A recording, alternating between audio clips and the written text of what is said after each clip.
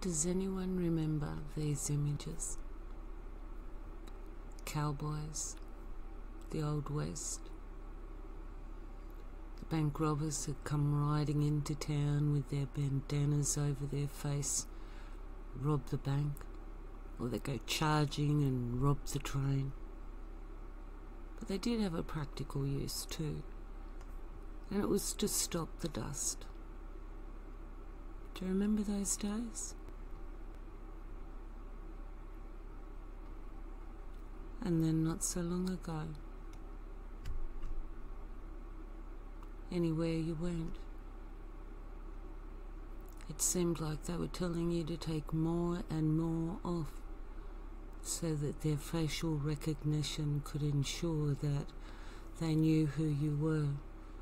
But before that, there was still the threat that when you wore a mask, well, if you weren't doing it to keep out the dust or protect your head, as in this circumstance, why were you wearing it? Usually in the commission of a crime.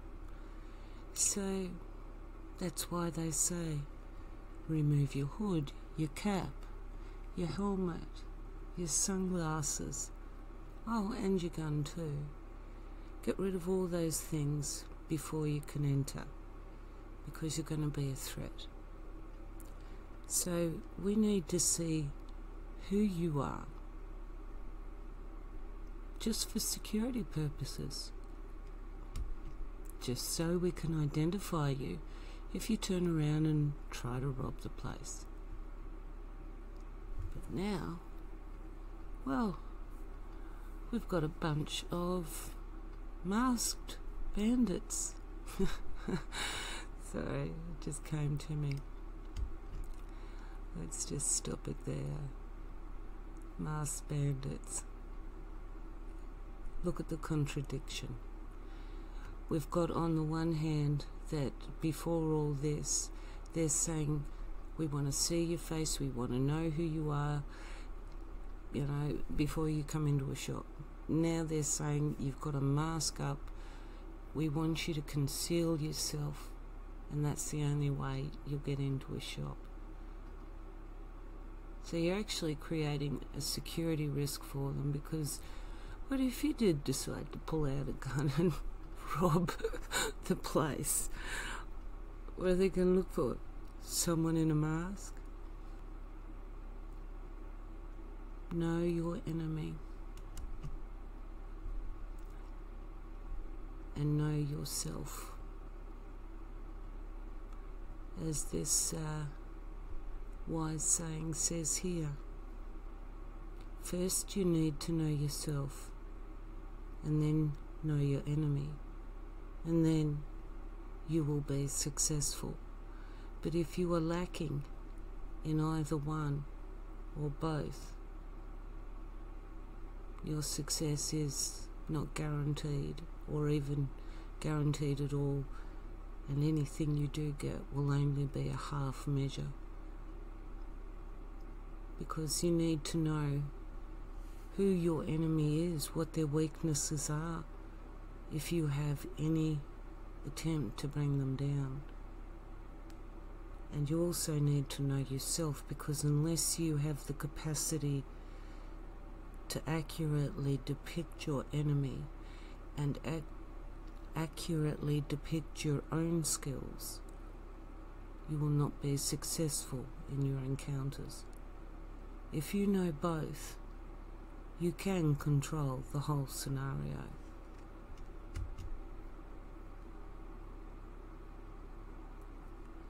And I think this this one just says it all.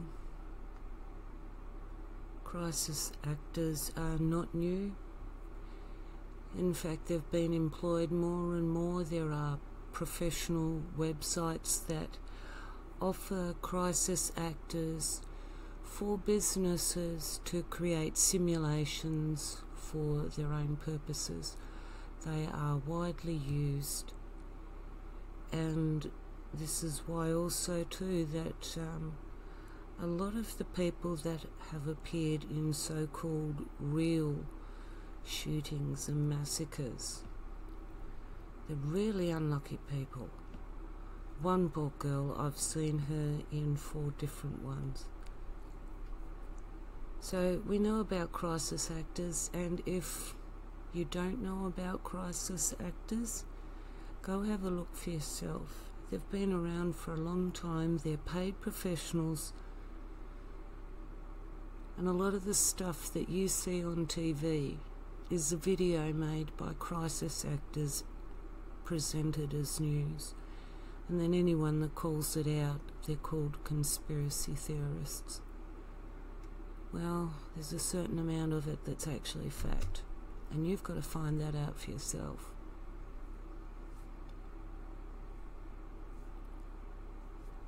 But we're going to get on to the medical industry. One of my favourite subjects. I haven't had a good experience with them ever since I was a kid, and I've never trusted what they said because, well, when when I first encountered them, they didn't know what was going on. They couldn't give me answers, and they were rude to me. I didn't like them right from the word go. But one thing that's also bothered me too is that uh, doctors take the Hippocratic Oath. And even though they spell hypocrite with an a H-I-P-P instead of an H-Y-P, it's the same thing. A hypocrite. And that's why over here, on the left-hand side of the image, I've got about Herodotus being called the father of lies, Plato, who's been called a storyteller of fiction, then could Hippocrates be the father of hypocrites? So, the oath of Hippocrates, or the Hippocratic Oath, that all medical staff take, first to do no harm. Now, I've known the hypocrisy of the medical field for years and on the odd occasion I've been lucky enough to find doctors that have spoken honestly to me about what they know of the hypocrisy. And it's like all cops know that corruption and all that stuff is in the police force. All doctors know the corruption within their own field as well. And you think, but they're doctors, they've got the best intentions at heart. How could they be corrupt? Well, we've got nurses and doctors coming out now saying they work in a corrupt system. Uh, if you can't believe the professionals that have been blindly, you know, just going along with it until all the, the shit has hit the fan, and then all of a sudden they've realised, you know what? This is life and death stuff that here we are killing people deliberately lying. We are supposed to be healing and helping people, and we are deliberately helping uh, to do things that is criminal. So, the symbol that the medical industry um, use, that they all use, you got two of them. You've got that little red cross, which everyone recognises. And straight away, you should look at it and go, red, danger. but anyway, it's always red, it's never a different colour. And as I noted down the bottom, if you turn it on on its side, well, that tells you wrong answer. And maybe if Hippocrates is the father of hypocrites, maybe it is the wrong answer. So you look at the symbol, and the symbol here, I'm just going to touch briefly on a little bit of Egyptian mythology. I studied the uh, hieroglyphs of it quite a few years ago and also did it again last year and really looked at in depth into it. Now, the symbol of the caducus, or however you say it, is the winged soul, the Heka staff, bound by two serpents, as I've explained here. Now, in Egyptian mythology, the Amduat is full of serpents, and most of those serpents are actually good. They light the way. They are what creates the light in the darkness, the light, the spirit, the fire. It um, it's hard to define what they represent, but they breathe it out, and like many things that are created from other things, these things are self creating. They are not reliant upon anything else, so basically, they are um, the primal power. And if you look at the Amduat, it is a journey through the hours and the divisions where the soul is taken through different aspects of turning light or turning darkness into light. Each division has its own little story, and each division has its own serpents that not only pull the uh, bark that carries supposedly the soul, but it also lights the way for the soul and communicates the way how to successfully navigate through that hour and division. So it's a representation of the duality between light and darkness, and it also is represented by the serpents in the Amduat, where there are the ones that represent the life force, the light, the eternal creative source that is always there to light in the darkness. But there's also the serpents that represent Apep, and there's other ones in there that are lesser and greater, or uh, but they all represent the all-consuming darkness and chaos that the light shines in and creates life out of. And when they tell, uh, when they encounter an hour that has the um, battle with a particular serpent in, in there, it's an aspect of the soul to overcome that particular darkness and create order out of that chaotic, that very primal dark, chaotic darkness. So the serpent that is entwining the Heka staff is representing that duality in the Amduat, where you have the spirit of of life and fire and creativity that is eternally light and creative, but you also have the eternal darkness and chaos that is continually there trying to destroy and consume and be all darkness and chaos. So these two constantly exist in eternal struggle with each other. And that's represented partially in the binding of the two snakes round the Heka staff. So that's the snakes around the Heka staff. Now, the Heka staff itself, and I'm calling it the Heka staff because um, Moses used a staff, and I dare say it would have been a Heka staff. Now, Heka is the Egyptian word for magic, and uh, what I've done with Egyptian hieroglyphs, I'm going to give my own interpretation, not what others give. So if you're expecting to find what I'm saying written somewhere else, I don't translate things that way. Um, as I said, I try in past videos, I try to go for the purest source and come up with my own interpretations. So the Heka staff, basically Heka magic is part of creation. There are several creative forces, and Heka is essential to one of them. Now, I don't want to go too much into it because I'll get sidetracked and way off subject. But Heka consists of two distinct um, concepts the He and the Ka. Now, the Ka is the soul, and in Egyptian mythology, there are three aspects to the soul. The ka is that part of the soul that has come into a reality to inhabit that particular reality. And in fact, um, karma, which is karma, is when, um, well, all right, I'm not going to explain that right here. I'll explain Heka. That's a completely different subject. So we've got the ka, the soul coming in, that is the um, inhabiting soul.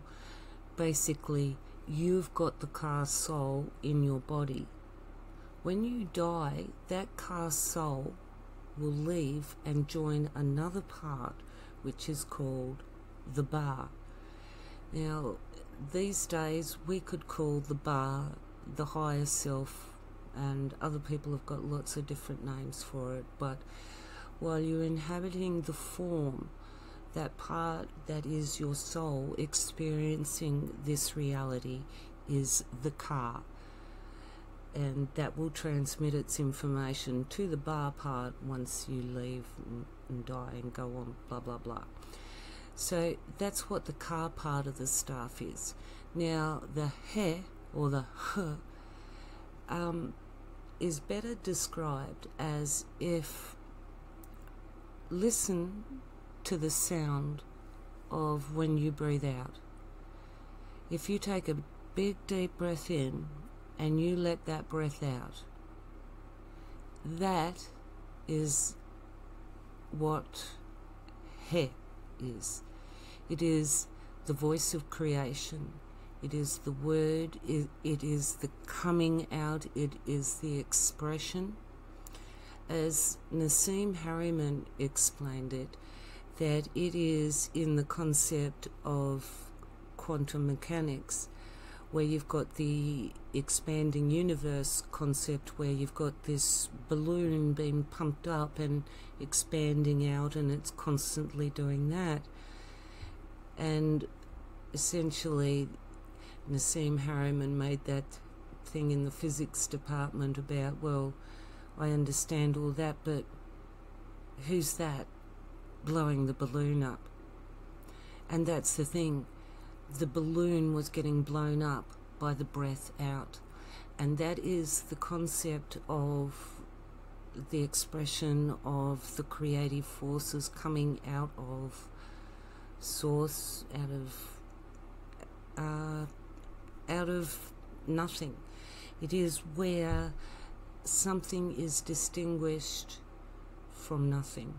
I suppose you could say it is the point of where light, um, light comes from darkness. So the breath out is that expression of that light with creative intent. So the heka or the magic is when the ka or the, the physical soul that's inhabiting your body uses uses that physical expression that breath out to create life, to create in that physical reality. So, and then um, that's just the Heka staff itself. At the top, we have wings. Now, these wings have been used a lot throughout uh, Egyptian hieroglyphs, and they're usually used over the top of things, and they indicate that essentially there's a soul in residence, that the soul has taken on form, it's in flight, and it's moving and experiencing. So, when you look at the symbol that the medical industry use, it carries a lot of ancient meaning that goes back to the time of the pyramids and who knows how much further where they actually ever got it from, that there is a distinct binding intimated of the soul and the magic or the creative aspect of you in your physical form, and it's bound by the duality of two serpents. it is controlled. Now, I'll put that screw in there to indicate to you because that's pretty much what the binding of the two serpents do to you. They wrap you in their own control mechanism. You still exist inside it, but you are controlled by it. And you are no longer a free winged soul inhabiting your physical form and creating. You are not the Heka staff with the winged soul on top. You are bound by the duality created by two serpents. And that is the symbol that the medical industry use. And so when you consider that concept of the symbology, the meaning of the word hypocrite. I mean, where did the word hypocrite come from? Was Hippocrates the father of hypocrites? But anyway, I only tell you that to make you think about the medical industry. It has long been corrupted. And what I said up the top here about all doctors were scientists, they all were. To understand how to treat the human being, they had to understand everything about their environment and what was going on in it. They were scientists of every field. They weren't just specialists in one. And they didn't treat human beings as just a disease like the medical industry do, with something that can be fixed by artificial means. Nature has all the cures, and we've had them for a long time. So I'll just, yeah, we'll start that back up again because we're going to, I've got completely off subject because we were going here into uh, knowing your enemy. And the medical industry is one of your enemies. And you should know exactly how they are your enemy. You should listen to the nurses and doctors coming out. Now you're probably wondering, this is a rather obvious thing to show about knowing your enemies. The cops, police cars, nobody likes to see them. But it really isn't that obvious about what I'm going to say because there are two issues here that you should be aware of that cops have to live with. We only have to face it every now and again. Now, I've just put up a light spectrum wave there. Well, more than just light, you can see the visible light range. Somewhere in there's 5G too, and all your other Gs. But this particular thing that I'm talking about here is the police lights. Now, I'm uh, light sensitive, and I found that uh, the police had changed their lights, their flashing lights, not only the colour, but now they had alternating colours. And I found them exceptionally agitating.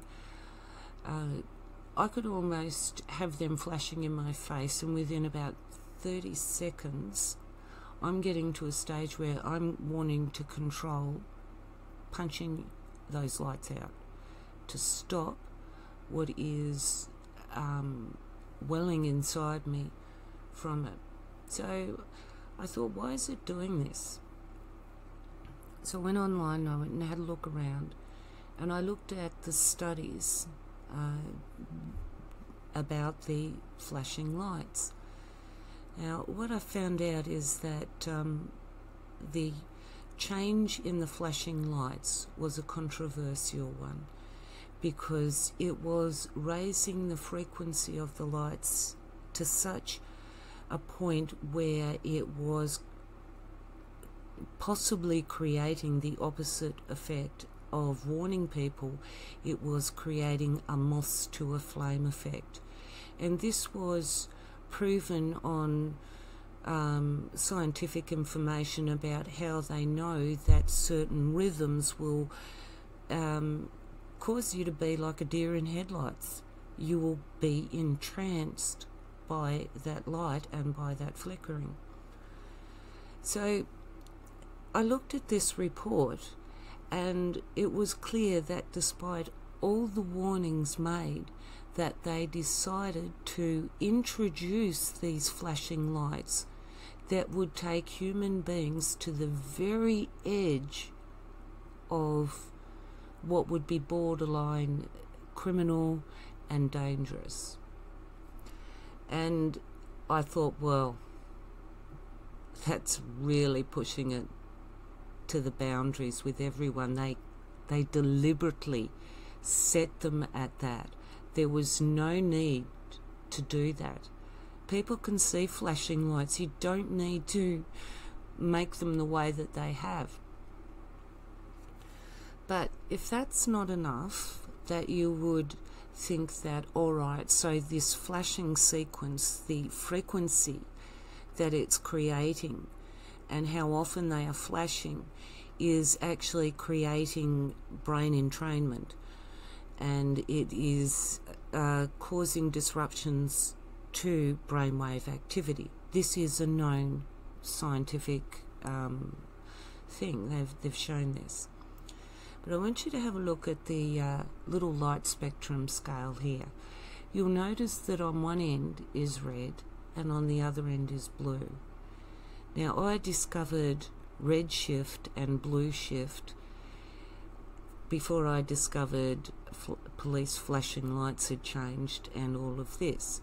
So I understood that all right, so they've changed the frequency, but they also changed them from being two blue lights to one blue and one red. And the frequency that they were creating was actually going between opposite ends of the light spectrum. So if you look over here on the light spectrum, you can see, as I explained, you've got blue at one end and red at the other. So what you've got are lights that are constantly flashing and whether you real, realize it or not, those signals are actually hitting contradictions in your brain because of the opposite uh, light spectrum end. They are contradictions. So that's how I figured out that what I was experiencing, why I was getting agitated, is because I was experiencing the contradictions of imagine that blue is come and uh, red is stop, or you know, one is go, one is stop. So you have got not only come uh, stop go stop go stop go flashing in your face, but it is flashing at such a rate to be borderline dangerous, where it can create a moth to a flame effect and actually draw you in to create an accident. Now, the funny thing is that, well, I shouldn't say funny, but uh, in looking at all these police things in Victoria, in April there were cops that had pulled over, I think it was a Porsche on the side of the uh, highway. They're standing on the edge of the highway, and all four cops get cleaned up by a truck. Now, did they get cleaned up by the truck because of their flashing lights? Was that like a, um, a moth to a flame? It is borderline, it is known, a known effect. So, not only when they approach you are these flashing lights creating this effect in you, but they go around with these flashing lights left on all the times and they're constantly put in this state of come go, come go, come go. They are living with that contradiction. So it doesn't take much to set them off. You have to understand that where you can get upset by that when you see those flashing lights, that's a built up accumulative effect of contradictory frequency that they have been exposing themselves to and they have no idea where their depression comes from or their anger or anything like that. But that's enough on the light frequency. because um, another reason for understanding your enemy and how these light frequencies come into play not only on you but on them, and how you may find them predisposed to get angry quickly because they're kept in a state of confusion between the red and the blue shift. But anyway, look at the middle picture there with um, the young copper. Now look down to his hip. Well, his little safety vest there. Do you see all that stuff that's attached to his hip there? Now, I happened across this at the same time I found the light frequency stuff because I was looking in the um, Queensland University for the studies and other universities around for studies on particular things, and I came across this one on transponders. And it's like, well, this is very interesting. Now, here's something that they don't advertise, and I'm sure that they don't even talk about it much amongst the cops because nobody wants to face it themselves either. But the subject of this uh, Queensland, Uni- I think it was Queensland University um, study, was the frequency of cancers that were starting to develop in police officers within a five year period of being exposed to those transponders. And I think that the reason that they associate it with, and they called them transponders, I don't know what they're actually called, they call them radios or walkie talkies, but um, they. Uh, they had localized cancers, much as children and adults are now suffering more brain cancers on the side of the head where they use the mobile phone. There is an association with the development of cancers and the use of technologies. So it is a known thing, and this was oh, eight years ago that these uh, transponders were known to cause because they operate at a heavier frequency than your well back then than your mobile phone used to and they carried it permanently on their hips they were constantly exposing themselves to high level frequencies and electromagnetic radiation and that exposure uh, through clinical diagnosis and study uh, is believed to have caused cancers.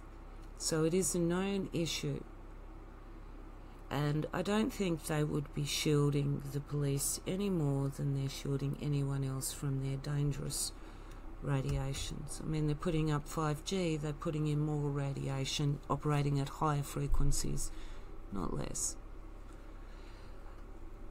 So this is what the police, um, the Queens, uh, Queensland, Victoria Police Force have got going. This is what you could look forward to if you got too lippy with the police and too many people um, created what they call a threat of violence. You could be someone not wearing a mask who could try to run away, and they might bring in the big boys. Well, that's a bit of an exaggeration, but uh, wait for it. This was on a previous video about the Victoria Police. You can watch that and learn all about them. I'm not going to re explain what you can face we all know the police are the main line of opposition and enforcing control over the citizens. Yes, crowd control. And they're doing it all for our own benefit, for our own safety. Yeah. There's only one problem with that. I don't buy it. And neither do a lot of people. So what do you do? How do tip the scales so they balance out again? Can we rely on the law?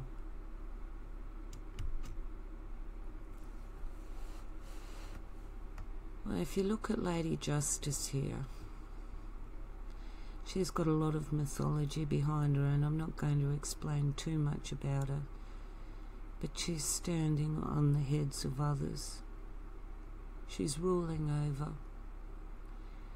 And probably the classic representation of Athena. She carries the scales of justice in one hand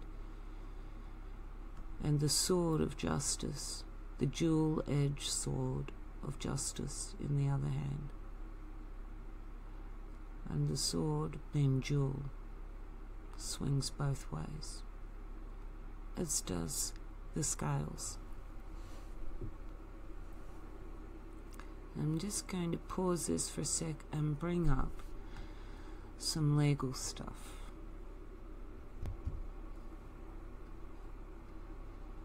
So I opened up all these tabs to try and give an overview. Now, I'm not a lawyer and this is not legal advice. What these are is merely examples and my experience. Because over the years, I have heard so many different people talk about becoming sovereign, declaring themselves free of the tyranny of government and the freedom of oppression and all of these different things. And I've pretty much heard everyone talk about, you know, how you can do it. And when you ask them, well, yes, that sounds like a really good idea, but how do you actually do it? And every time you'd ask them, all you'd get was them just repeating this idea, this ideal. No one was ever really telling you how to do it. And that's um, something that I've found that a lot of people are actually starting to explain a lot better today what certain aspects are. Because what you can do as a human being, you have got a few avenues that are open to you. It depends on which avenue works for you and which perspective you hold. Now, the common law is something that if you're dealing with the common law, you see all oh, those other tabs that are up the top? They go out the window. Because common law basically deals with the inalienable right that you were born with. It is something that you cannot be take, uh, have taken away from you, and every country recognizes common law and personal sovereignty, and that comes over and above and before any law that man imposes, which is all those other tabs. So when it comes to law, common law is kind of uh, the one that beats them all. But it's also something that if you want to use that common law, you still have to take it into a court that is created to deal with uh, legislated law and not common law, and put forward your case and have that judge rule on it. So essentially, um, it it's a kind of a cockeyed system. You can also get that common law looked at in the International Court, and the International Court is available to anyone. I mean, the Pope is a convicted pedophile in the uh, International Court. They, they've got a warrant out for him, they've been chasing him for the last year. But anyway, let's not get off the subject again. So, you're going out and about. If you're living in Victoria, you're already going to face the fact if you're not wearing a mask, um, you're going to get into trouble. And even if you are wearing a mask, how long are you going to wear a mask? Can you wear a mask and still maintain your self dignity and not want to just. I mean, seriously. How long can you take being treated like a mindless slave? So, you have to look at the options. And if you are not living in a place where masks are mandatory, you have to look at what people are going through and know that it's coming for you after them. So we need to help and, and back up those that are already going through it because we're going to be there soon if we don't help them stop this right in its tracks. So the arguments that you can use are common law. Now, in Australia, it doesn't matter what you do, what law you pick at, you're going to be looking at something that is based on the Australian Constitution. Now, I could get into a long discussion here about what the Constitution is and how many debates there have been at different sections of uh, years over different things to do with the Constitution, why people say that at different stages it's not even a valid constitution. But you can still use that constitution, as I showed in a previous video with a man back in 2013. You can use this constitution to give yourself rights. If you understand how to use them, you can apply them very well.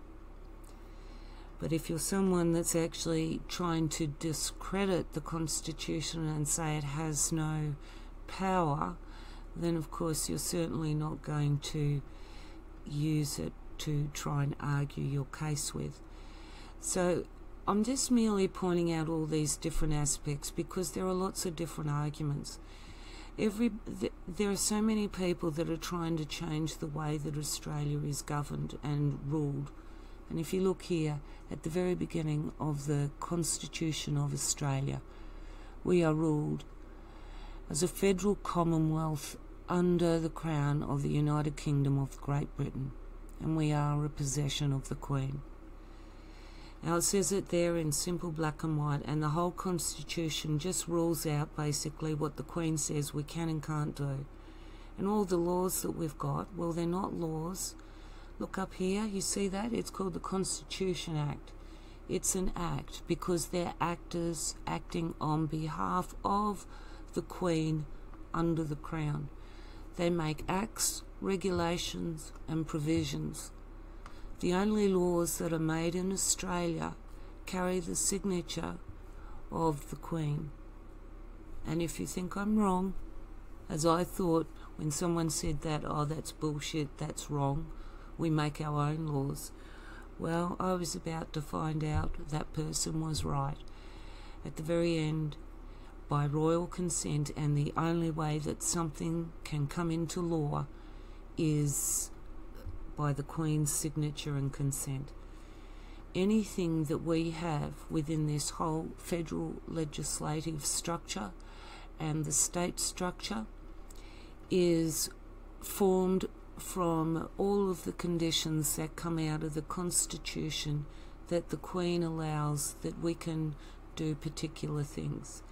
And when you look at it, uh, the provisions for pretty much running your own country do appear to give you self autonomy. But this Constitution tells us clearly that we are under the Crown. So that's why I'm pointing this out because if you ignored the fact that, um, you know, and you wanted to believe, like a lot of people, that no, we are not under the crown, we're sovereign, and this constitution gives us all the rights, we won't worry about challenging its authenticity, we'll just use sections out of it to argue our cause. And a lot of judges are happy for you to do that because they don't want you to challenge the constitution itself. I mean, Gough Whitlam got sacked for it well, that and a few other reasons. But I'm not going to get into that anyway. And that would take us back to the Australian constitutional crisis of 1975. Yes, Sir John Kerr, Gough Whitlam. I remember it. I was alive back then. I was still a kid, but I remember it. So, because we're working under a quarantine condition that the Governor General of Australia, who is the Queen's representative in Australia and the acting head of Australia, the only person that can sack, sack the Prime Minister and did in 1975, he called a state of emergency over health conditions and it brought into play the Biosecurity Act of 2015. So anything that comes under that is has to be in guidance with the Biosecurity Act. Now all these little tabs here I've got open here because in the previous video I showed how this guy in Victoria was using the Crimes Act of 1958, Section 458, to pretty much put this cop in his place and tell him that if he did not stop harassing him, he would exercise his rights under Section 458 of the Crimes Act of 1958 and take him into the court and arrest him for harassment. Now, that is the particular section in Victoria that gives you, a Victorian citizen, the right for that. But each state has its own specific um, act that deals with that, and it's not the same act, it's not the same act number, but all of them have to work in conjunction with uh, where are we?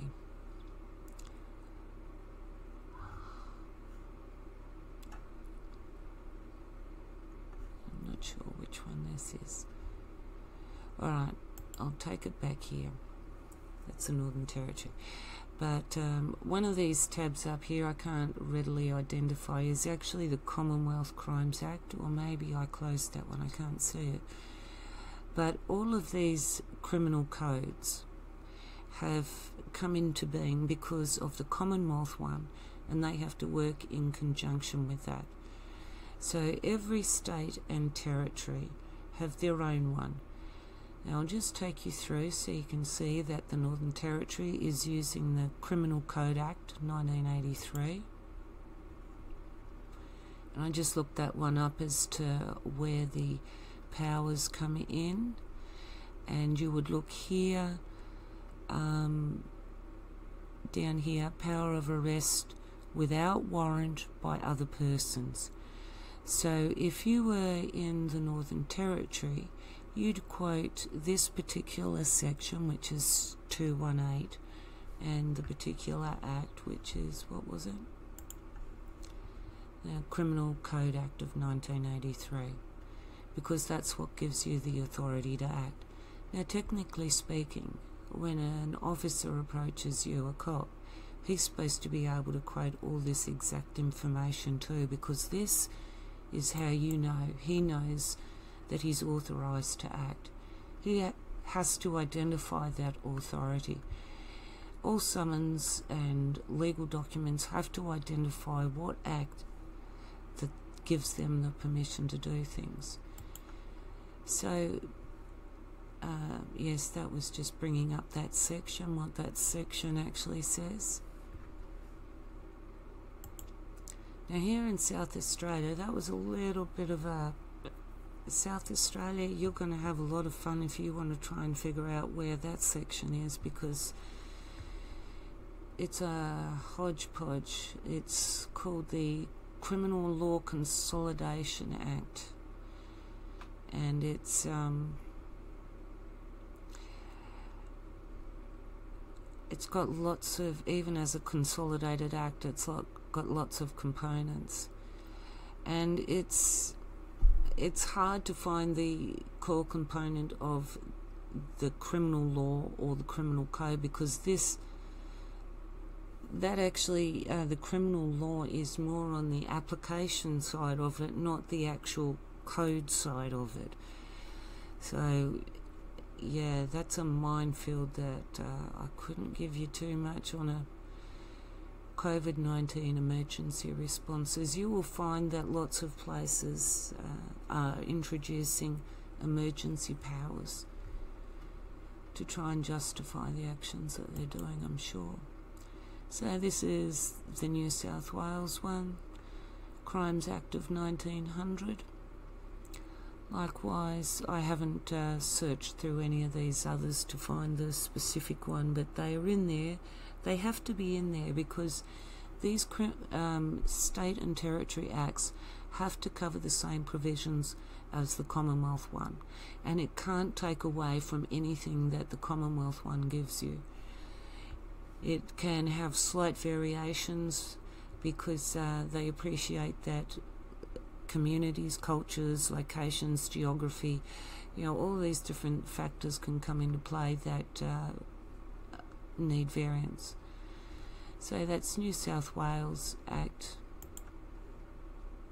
Queensland Crim uh, Criminal Code Act 1899, Western Australia Criminal Code Act Compilation Act 1913, Tasmania the Criminal Code Act of 1924, and that was the Vic oh this is the Victoria one. Yes, this is the act that the um, man in the video previous video was referring to, and section 458 that he was talking about is person found committing offences may be arrested without warrant by any person. I've already opened that up, but we'll open it up again. So this is that section. And I'll show you this section because uh, this one I'm pretty sure makes reference to going to see what is actually classified as a crime.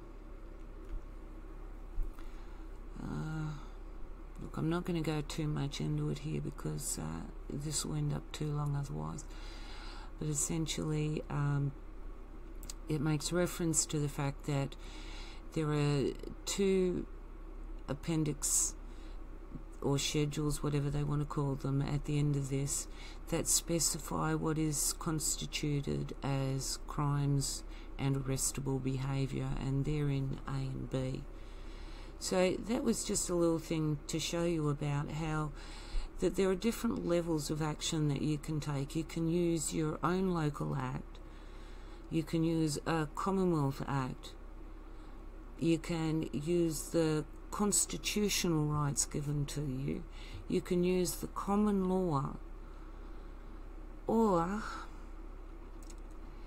you can, in so many respects, like I have, got to the stage where you realize that everything that is written on paper is corruptible. And if you want to try and fight paper with paper, you want to fight a law with another law, all you're going to be doing is chasing your tail to a large degree. I mean, you may meet some success, but anything that involves going to court in any way, shape, or form is going to take time and it is going to be something that will consume your efforts and it's best left to those that, like that guy in that video, that had it well said. You can show your support for someone like that, and uh, as in uh, two videos ago, upload where the guy was talking about common law and the efforts that they're trying to coordinate throughout the world. They have someone that can speak all that stuff like that guy did outside that courtroom to that copper and made him go away. They've got someone to do that. All you need to do is show up and be a number, to be part of the solution. You don't have to argue anything, you just have to be there. So, if that's all that you are putting at risk when someone else can do all the talking, give it a go. Find out what they're doing. I've left, I'll leave links for these things where you can join up to this global initiative. You never know, it might go somewhere. On the other hand, we may have problems because we're working with a rigged system to begin with. And we're already using platforms that are rigged against us, monitored, and yeah. So, I mean, how can you organise a protest without anyone knowing? You communicate to online, they know online, next thing you stopped. So, the ability to organise through the good old fashioned means of using phones and letters where basically they weren't intercepted and monitored by outside sources all the time. We've forgotten how to do that, and maybe we should start using snail mail and going back to good old landlines. I don't know. Do they tap the landlines? I suppose they do. They're all tapped. I mean, they were always tappable, but anyway, so I'll just pause this again and take back to the video. Yes, I wonder if I've taken you off into enough different uh, side tracks and completely off the track that maybe some of you may have forgotten why I even started this video. But I haven't. Because uh, what justice are we going to get? Now, you might think this is a weird looking um, image, but I deliberately did this and I will explain it because the next one is going to get even weirder.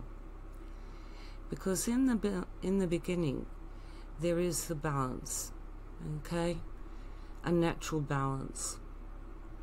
Then man came along and took charge over it and lauded it and created an imbalance. And so that's where I've got Lady Justice, who is sometimes wearing a blindfold, which is pretty dangerous for someone carrying a sword, isn't it? But anyway, showing that justice over the natural balance. That's what this image is supposed to indicate. Man having judgment over the natural balance. Because in this next little one, was anyone expecting this? Because not only do we have the natural balance that is out of whack, that has been ruled over by man, but that out of whack balance is also associated with something that also goes back to Egyptian mythology. And the actions that people are doing or not doing today, is anyone considering the consequences of their own actions? I see that um, Shane, I think his name's Shane Patton, is it? The Victorian Police Commissioner. He stands there and says that people can't get away with doing the wrong thing and they will be held accountable. And I talk back to him and I say, You're damn right, mate. I am going to hold you accountable. You have done the wrong thing. You are not above the law. And there has to be some scale of justice and balance. So I've used the image of the ancient Egyptians weighing of the soul against the feather to indicate this is the kind of spiritual warfare that human beings are under at the moment. Now, whatever religion you practice, or spirituality, or uh, philosophical um, beliefs, there are certain things that you can't escape. Death is one of them. And if you live long enough, you also understand that it's very true when they say there's cause and effect. Now, you can go through life and you can live it materially and acquire a heavy heart It's like they say in the Bible where uh, it is far easier for a rich man to pass through the eye of a needle than it is for him to get into heaven. Because his heart is so consumed with material things that everything that is good and right has been taken from his soul, and his heart will be that heavy that, well, that heart on the left hand side, it couldn't get any lower. So, this battle that we're undergoing right now is a battle for our soul. On the right here, we've got Hermes or Thoth, the scribe, represented as the scribe. He's probably recording the deeds. In the middle, the crockhead is Ammit. That if you're found to be um, if your heart is found to be heavier than the feather, Ammit's going to devour your soul. Ammit's called the devourer of souls or destroyer of souls or destroyer of millions. I mean, there's many different translations. And then we've got Anubis, who is in charge of the scales. So we've got the balance, the natural balance of the of nature that is skew skewif, that is tied in with the natural balance of the human soul being lorded over by the laws of man. So when I offer different scenarios, I don't suggest that any one thing is the solution. And sometimes I've tried legal solutions, and you realise that, yeah, well, there's reason justice wears a blindfold because there is no such thing as justice in the law system. But uh, that's enough of the history lesson and the legal system.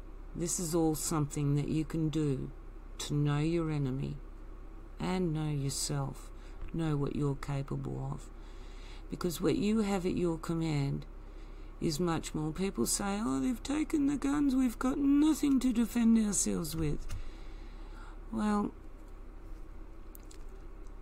for years, I, I used to play softball when I was a kid, and I had that soft, softball bat. I still do.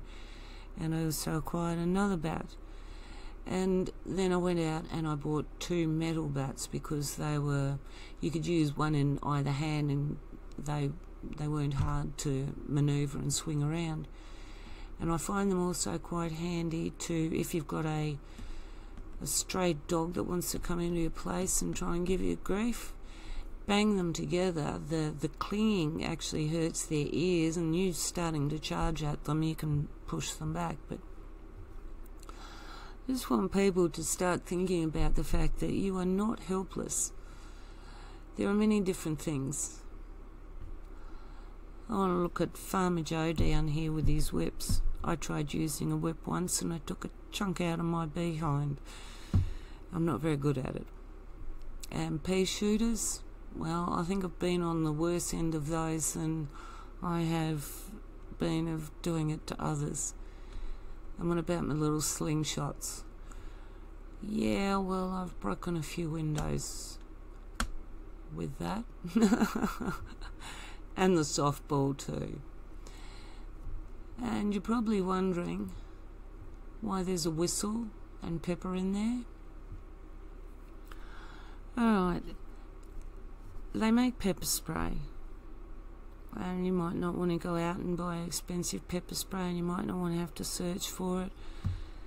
And everyone has pepper ground pepper. You can get ground pepper very easily and all you've got to do is take the lid off or if you've got one of those twist lids turn it around a bit and just squeeze and a whole puff of um, you know pepper powder is going to come out, and that, that's not very nice up your nose and in your eyes.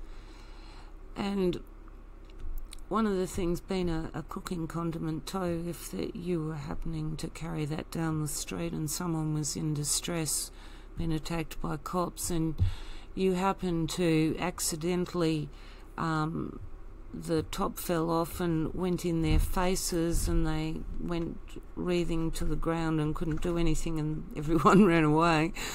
Okay, um, are you with me? Um, there are ways that you can deal with things without needing a gun or a knife, because the more threat you carry, the more threat you're going to meet in resistance to you. And why a whistle? Right now, years ago when I was in high school, I used to do bushwalking, and one of the biggest safety things that we always used to have to take with us was a whistle. Because if you get into an emergency situation, if you become weak, exhausted, dehydrated, um, hypothermic, or whatever condition you might find yourself in, you've been lost, you can't yell out loud enough. But a whistle can certainly get the point across. You, uh, a whistle can echo across valleys, and you don't have to yell it out. If um, we've all had dreams where you try to call for help and you can't call for help, or you try to run and you can't run. It's the same thing when you are in a stress situation. It is really hard to actually try and call out really loudly for help, uh, especially if someone is trying to, to stop you from doing that. But what is very easy is to stick a whistle in your mouth and blow and call. Now, it used to be an old method. Look here. You see this with the old bobbies? They not only used to carry a whistle, but they also used to carry a stick. A nice little whacking stick. So if they saw a crime being committed, they'd blow on the whistle to alert everyone to that so that people could come in and help.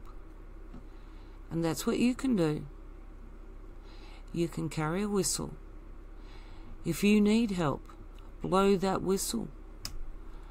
Call out for help. Say, police are harassing me. And go to people's aid. Do not ignore people that are in, in need. Do not stand by and video them. Please. But I can also help you with a way to get around that in a minute. So, not only carry a whistle so that you can call for others to come in, because there's always going to be someone around that's going to hear that whistle. You hear a whistle and people call for help, go help them. And as you can see here, even a kid can do it. The funny thing was that when I was looking up for whistles, it came up with whistleblower. And, you know, a few years ago that word never meant anything. But you can be a whistleblower, a real whistleblower. Help your community, everyone carry a whistle. And your call for help will go further and wider. And if you coordinate that whistle, if the cops are coming at you, you coordinate that whistle with um, pulling out that little bit of pepper you've just got in your pocket handy dandy and just squeezing it so that a puff of pepper, pepper comes out in their direction. Um, already you're starting to look like you've got this situation a little bit more under control and they they're not going to be as much of a threat to you as what they want to think they are. And then you can use other examples of where uh, you can make your own arrest and they could turn around and say, well, you assaulted them. Uh, how? Uh, you put pepper in their face? Uh, no, I didn't. I had pepper on me, and you came and invaded my space, and because you did that, um, I had an accident and it spilled. It's not my fault, it's yours. Are you with me? Are you hearing me, people? Think of what you can say. And don't wait until you go through it, because sooner or later all of us are going to go through it in one way or another, so you need to know what to say beforehand, not when you get there. So, what can you do? A lot. A lot. Now, facial recognition. I find this one an interesting subject because they've brought up the thing about how they want to, you know, they've got facial recognition and cameras everywhere. They want to identify everyone. And now all of a sudden they want everyone to wear masks. But uh, look at the uh, imaging here of uh, the fellow with uh, the two images, with the dots and the geometry lines. Now you can see if he's wearing a mask, how many points of identification that will cover up. However, look at how many are still available just around his eyes. There are probably more points of identification around his eyes than there are around the whole entire bottom part of the mouth that he's masked up. Now, you can understand why they ask you to take off your sunglasses because they can't map your eyes if you're wearing sunglasses, especially block out ones that can't see through them. So, I then think, well, if you are living in a place where masks are mandatory, you've got several options. You can follow the rules or not follow the rules. And if you are following the rules begrudgingly, sooner or later, you don't want to follow the rules and you're going to find yourself in trouble. But what if you did abide by what they said? What if you did mask up? And in doing so, you not only beat their facial recognition technology, but you also showed to every other human being out there that you are willing to be defiant of what's what the government are trying to impose, what they are trying to take. And yes, uh, Anon. I like some of Anon's stuff, but I also know that Anon,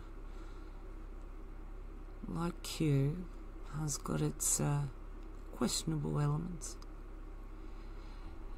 But uh, that's not my point here. My point is that if we all wore anonymous masks, imagine if you walked out and instead of seeing someone in a surgical mask, you saw someone in an anon mask, and then you saw another one and another one. And in looking at that person wearing the anon mask, you know this person is on the side of humanity. And if we have to play this game of masking up, let's do it. Let's do it right. Because every day that this charade goes on, the elite agenda running this world is losing sheep more and more people are waking up to what is going on because there are so many contradictions that even the most brainwashed are starting to question hey, something's going on. So daily they're losing their sheep and they're waking up. And a lot of those sheep are young. And they're going to be out there wearing these anon masks. They're going to be leading the forefront of the fight. So maybe we should jump on that bandwagon with them. I've looked at buying an anon mask. And if it wasn't for the fact that my daughter wouldn't go out in public with me if I wore one right now, especially since we are not even under, there's no one with COVID in Tasmania and no one's wearing a mask. Oh, hang on, I saw a, an Asian woman wearing one in a car the other day and we both laughed at it. But, um, yeah, she disowned me. She's already embarrassed enough to go out in public with me because she never knows what I'm going to say. But this is what you can do. I, I'm not offering clear cut solutions. I'm not telling you how you can put, integrate this into your life, even if you can integrate it. These are just merely things that if you look at, I look at what I can use, what are my strengths, what are my weaknesses, And this is where it goes back to know your enemy and know yourself. What works for me is not going to work for another human being. The things that I've tried in some circumstances work for me and in other circumstances don't. It depends on the situation a lot of the time.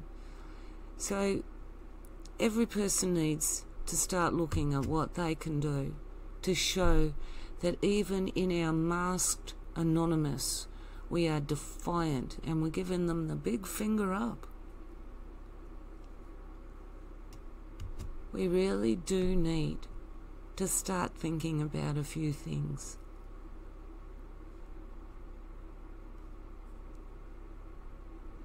And I think I've gone on for long enough.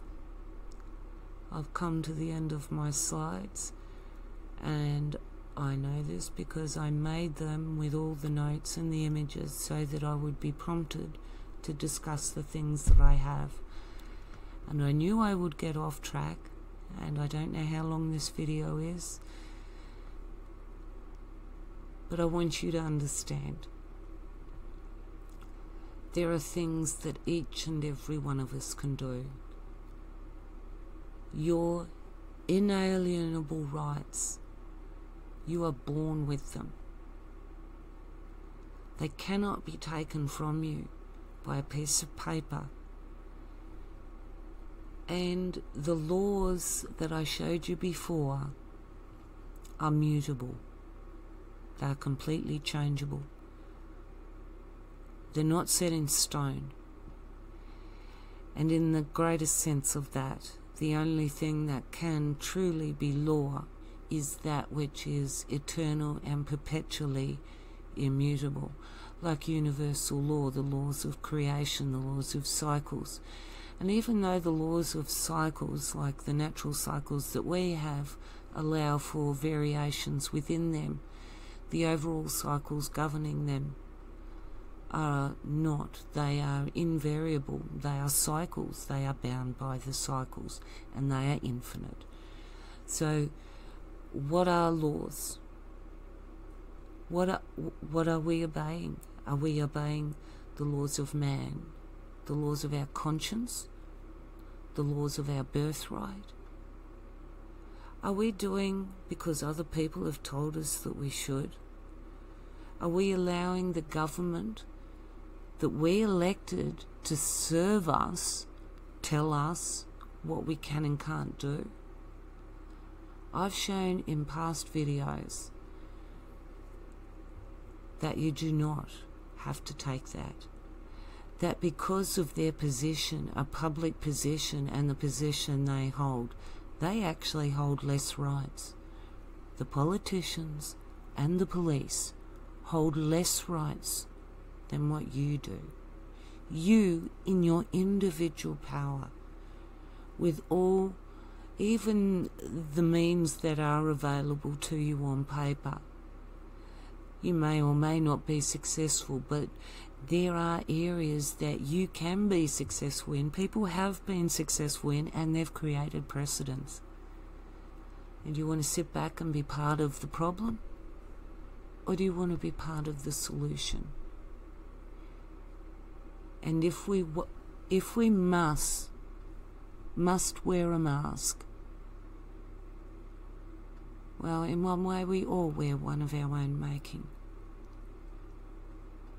So let's make it one that shows others we are in this together. One together. If everyone, uh, look, I'd not love nothing more than if I walked out if I was living in Melbourne and I saw everyone wearing a non mask, I would know then that we could do something about it and change things. It's something to think about anyway. In some ways, I wish I was in Victoria because I'd be certainly doing a lot of things. I'd probably be arrested by now anyway, but well. I'm probably in the place where I'm supposed to be right now. It's a long video. I've talked on a lot. I've covered a lot of things and I've taken you into different areas. I'm, I've hoped that I've made you think that the reality that you're experiencing and, and the problems that you're going to encounter are going to include medical and police. These are your two major issues right now. And to deal with them, there are certain things you need to deal with first. All of us need to deal with. And the first thing we all need to deal with is who are you? What do you believe in? And what are you going to stand up for? And when are you going to stand up?